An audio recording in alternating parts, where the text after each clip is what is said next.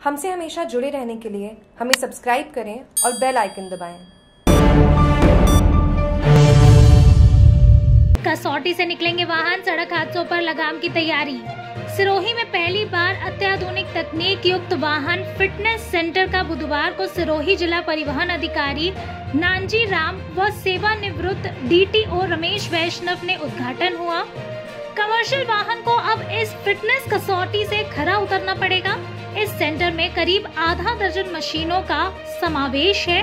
एक ही बार में break, headlight, pollution, balance इत्यादि की कंप्यूटराइज जाँच होगी। सिरोही सड़क दुर्घटनाओं के मामले में हाई रिस्क जोन है। यहाँ अत्याधुनिक सड़क हादसे वाहनों की तकनीकी खामी की वजह से भी होते हैं। इस फिटनेस सेंटर से जाँच के बाद सड़क दुर्घटनाओं पर भी लगाम लगेगी।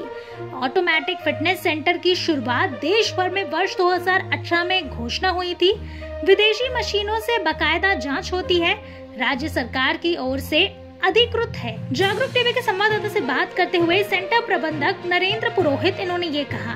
फिटनेस फिटनेस सेंटर है पे का फिटनेस होता है और शुरू में ये पहला लगा है। और यहाँ पे सारे कंप्यूटराइज मशीन है गाड़ी की एक एक स्पीड की टेस्ट होती है पॉल्यूशन की टेस्टिंग होती है ब्रेक टैक्सिंग होती है सस्पेंशन होता है एयरलाइन टैक्स होता है, पूरा कंप्यूटराइज है, गाड़ी ऑटोमेटिक सब सेफ़ होती है। गाड़ी पूरी फिट होने के बाद ही इसकी गाड़ी का फिटनेस जनरेट होता है। जागरूक टीवी के सिरोही से सुरेश परमार की खास रिपोर्ट।